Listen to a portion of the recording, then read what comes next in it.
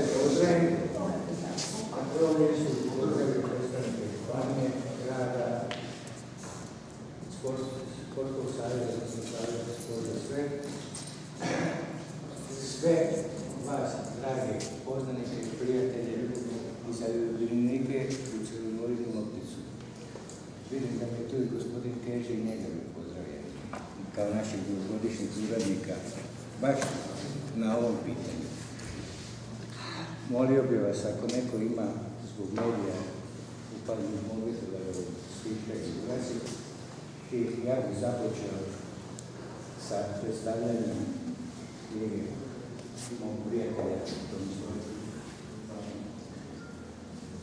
Kako se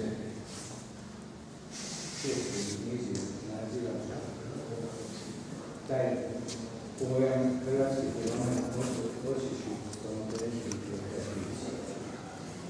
Yeah, try and understand. But they, they came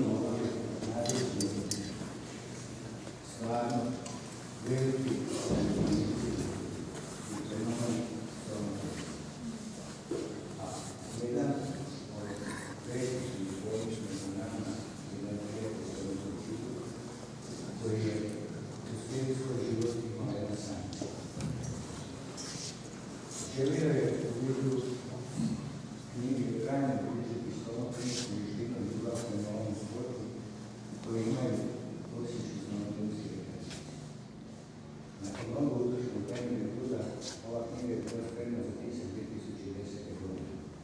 U realizaciji ovog projekta je pošlo je zradio Petar Šegec kao tehnički urednik. Zbog ovoga opravdanih tehničkih razloga, zdravstvenih i naravno financijskih, čekalo se svijetno tekuće i tekuće i. Nigdje u Hrvatskoj nije organiziran sport